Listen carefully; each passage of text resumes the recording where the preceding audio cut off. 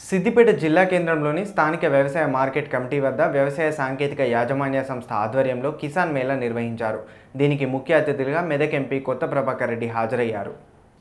సిద్దిపేట జిల్లా కేంద్రం స్థానిక పట్టణ పత్తి మార్కెట్లో వ్యవసాయ శాఖ ఆత్మ కమిటీ సౌజన్యంతో ఏర్పాటు చేసిన కిసాన్ మేళా కార్యక్రమంలో పాల్గొని స్టాళ్ళను ప్రారంభించి స్టాళ్ళలో ఏర్పాటు చేసిన చిరుధాన్యాలు మరియు విత్తనాలు అలాగే వ్యవసాయ యంత్ర పరికరాలు పరిశీలించారు ఎంపీ కొత్త ప్రభాకర్ రెడ్డి.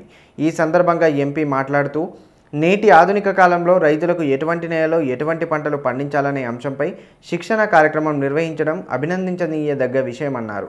ఇటువంటి శిక్షణా శిబిరంలో మెలకువలు నేర్చుకొని రైతులు మంచి మంచి పంటలు పండించి అధిక దిగుబడి సాధించి ఆర్థికంగా ఎదగాలని అభిలాషించారు. ఈ రకంగా రాష్ట్ర ప్రభుత్వం సహాయ సహకారాలు అందించడానికి సిద్ధంగా ఉందన్నారు.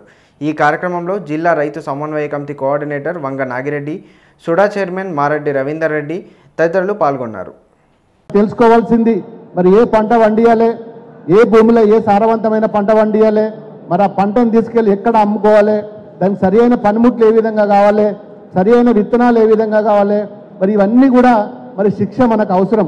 ఈ శిక్షణను మరి పాటించినట్టయితే మరి పాతకాలం కాకుండా ఈ కొత్త తరహాలు మరి మంచి ఈల్డ్ అంటే మంచిగా ఎక్కువ పర్సెంట్ ఎక్కువ శాతము మరి పంటలు వండే విధంగా కొత్త కొత్త విత్తనాలు మరి ఈరోజు మన రాజేంద్ర నగర్లో యూనివర్సిటీ సంబంధించిన చాలామంది అధికారులు ప్రొఫెసర్స్ కూడా మరి కొత్త విత్తనాలు కూడా మరి పరిశోధించడం జరిగింది.